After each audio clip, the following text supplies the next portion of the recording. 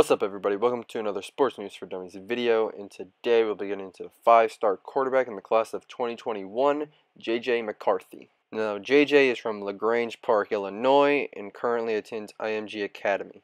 J.J. is 6'3", 190 pounds, the number 2 pro-style quarterback in the class of 2021, the number 18 ranked nationally, and number 5 recruit coming out of the state of Illinois. JJ committed to Michigan on May 11, 2019. He also held offers from places like Ohio State, Miami, and LSU. His 40 yard dash time is 4.87 seconds, his shuttle time is 4.47 seconds, and his vertical is 30 inches. He is capable of pushing the ball down the field even when forced to remain flat footed with pressure in his face consistently makes on target throws from the pocket, but also is dangerous breaking the pocket and throwing on the move. He is a pro style quarterback with functional athleticism to hurt defenses as a scrambler, whether via off schedule throws or tucking it.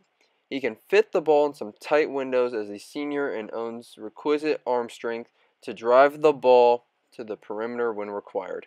Aware in the pocket and feels pressure. Faced strong competition as a senior, still has room at the top end of his arm strength meter, generally accurate but can still be more consistent in that department one of the nation's top 2021 QB prospects, potential multi-year impact starter at Michigan with long-term early round NFL draft ceiling. This is what a national recruiting analyst said about JJ.